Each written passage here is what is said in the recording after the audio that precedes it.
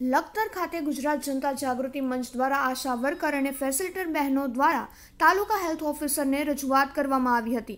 આવેદનપત્રમાં તેઓની માંગણી બાબતે રજૂઆત કરવામાં આવી હતી કે લઘુત્તમ વેતન મુજબ ફિક્સ પગાર એકસો એંસી દિવસે સવેતન મેટર્નિટી લીવ ઇન્સેન્ટિવ પ્રથા બંધ કરો સહિતની માંગો સાથે આવેદનપત્ર પાઠવવામાં આવ્યું હતું.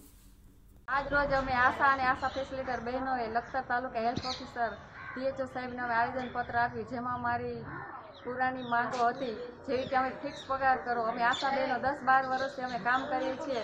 તો અને અત્યારે પણ હાલમાં કોરોનાની મહામારીમાં અમે રાત દિવસ કામ કરીએ છીએ. તો એનું ઇન્સેન્ટિવ પણ અમને હજુ મળ્યું નથી.